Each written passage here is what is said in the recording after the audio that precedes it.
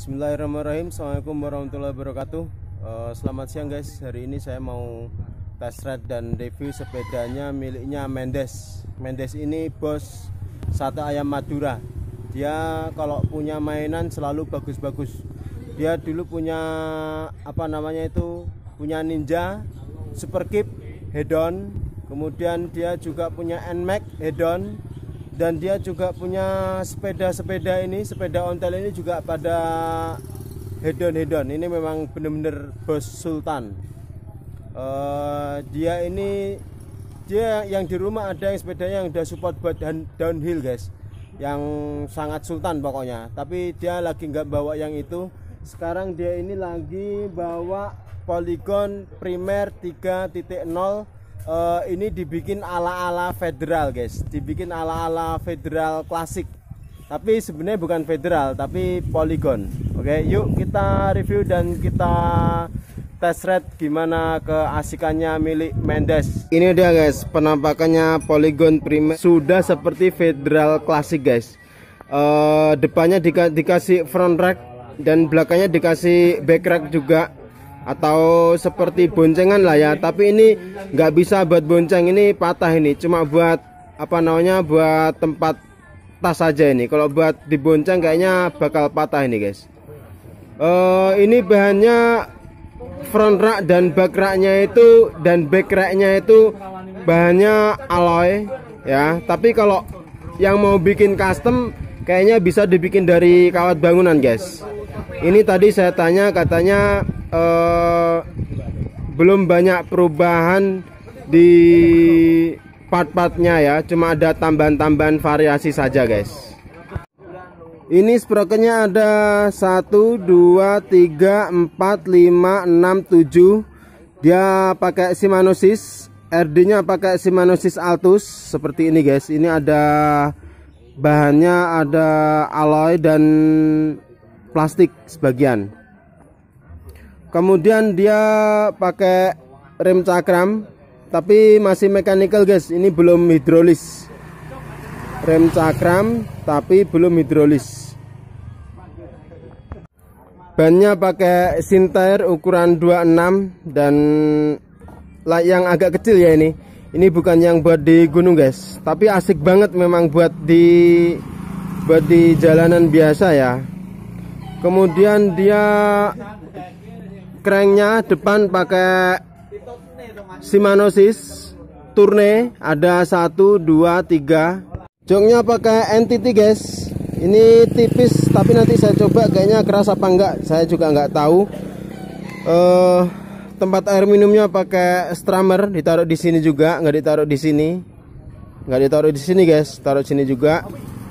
Ini sudah pakai shock breaker mereknya Sontor tapi ini katanya nggak fungsi guys. Ini nggak bisa bikin keras dan nggak bisa bikin empuk. Karena ini produksi tahun 2013 ya. Nggak tahu ini nggak fungsi. Ini bisa diputar-putar tapi nggak fungsi guys. Kemudian pakai stangnya strammer stemnya strammer juga. Stemnya juga strammer grip merek strammer guys.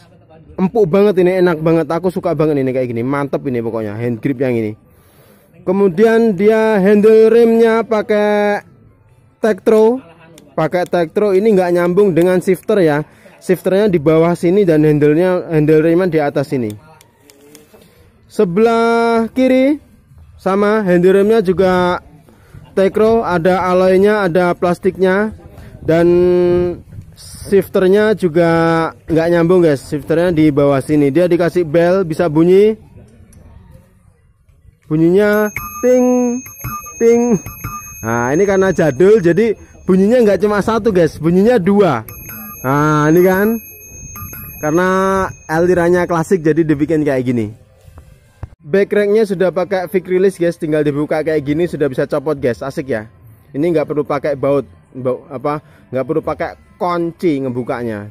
Cukup dibuka gini saja. Sudah fix release ini rem depannya juga pakai cakram juga mechanical juga guys. Ini belum belum hidrolis.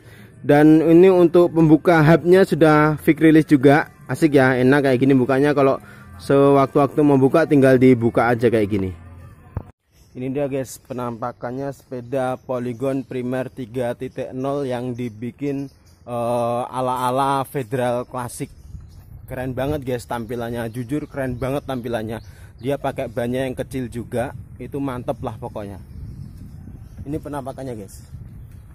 Enak. Ini enggak terlalu jengking ya guys. Aku suka banget kayak gini.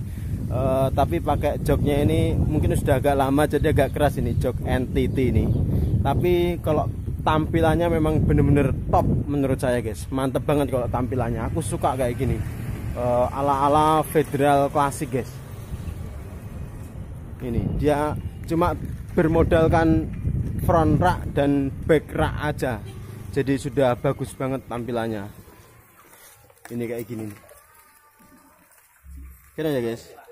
Keren banget guys pokoknya.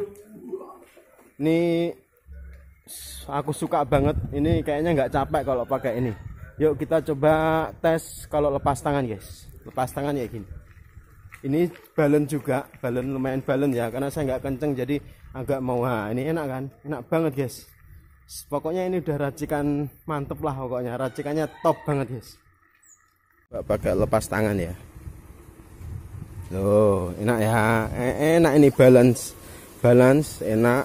Dan nggak terlalu nggak terlalu berat juga ini di pedalnya. Uh, tapi di kaki ada agak nekuk guys. Kalau di kaki agak nekuk katanya itu harus ditinggiin biar kak kalau perjalanan jauh itu kaki harus lurus guys. Harus lurus kayak gini. Harus bisa lurus kayak gini. Kalau nggak lurus katanya bikin capek guys. Ini memang mungkin sama dia nggak dipakai buat jarak jauh ya. Cuma pakai buat ngopi buat di sekeliling rumah aja. Makanya uh, ini enggak dibikin tinggi. Yang sepedanya buat downhill dia tuh yang di style tinggi guys.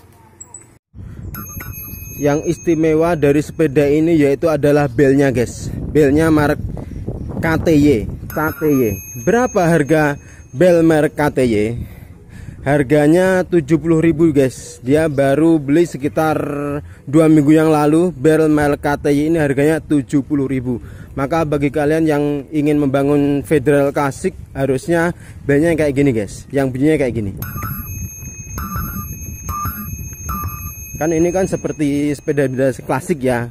Bunyinya dua kali nggak cuma sekali uh, nanti kalau ada sepeda yang bagus lagi atau kalau ada sepeda yang baru lagi atau kalau ada sepeda yang lebih sultan lagi insya Allah mau saya review guys. Uh, biar kalian kalau mau upgrade biar gampang ya. Sementara gitu dulu ya guys vlog kita pada siang hari ini. Assalamualaikum warahmatullahi wabarakatuh